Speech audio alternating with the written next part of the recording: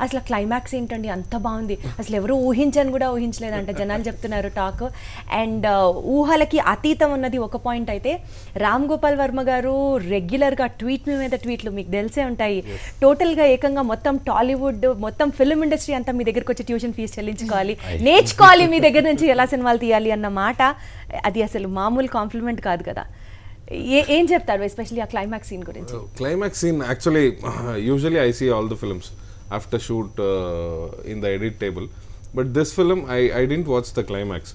Uh, while dubbing also i saw my shots and uh, while music was happening background score was getting ready I, I went to the studio and I, I was seeing first two three reels.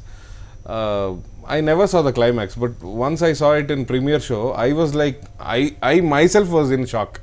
I was like, wow, where did he come from? See, everybody were in that shock. I, I, I was like, where, where did Rishabh come from? Means uh, out of the uh, out of something else. Means he, he was not in uh, Earth. He was something. He was he came from Mars or something like that.